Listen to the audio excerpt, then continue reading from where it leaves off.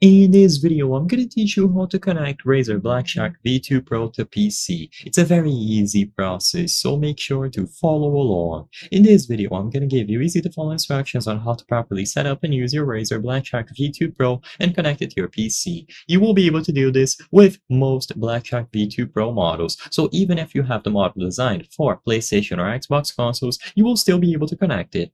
So first, I'm going to be talking about the standard Blackshark V2 Pro.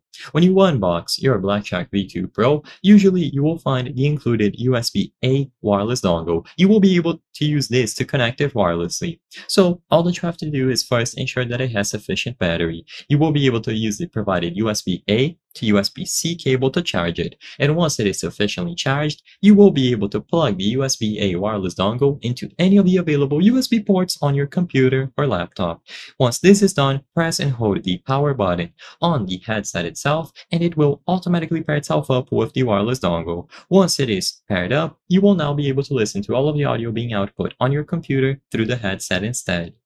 You can also connect it over Bluetooth if you wish by pressing and holding the equalizer button for around 7 seconds. It is going to go into pairing mode and if you go over to the Bluetooth settings, you will be able to connect it there as well, but the latency will be higher, so I don't recommend doing this.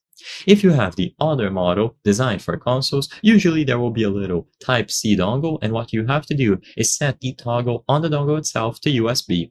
Once it is set to USB, now you can plug this dongle into any of the available ports on your PC, either directly or using the provided USB-C to USB-A adapter, and once again, when you power on the headset, it will automatically pair itself up with this dongle in the same way.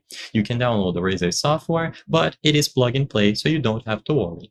I hope I was able to help you on how to connect Razer Blackshark V2 Pro to PC. If this video helped you, please be sure to leave a like and subscribe for more very easy tips. Thank you for watching.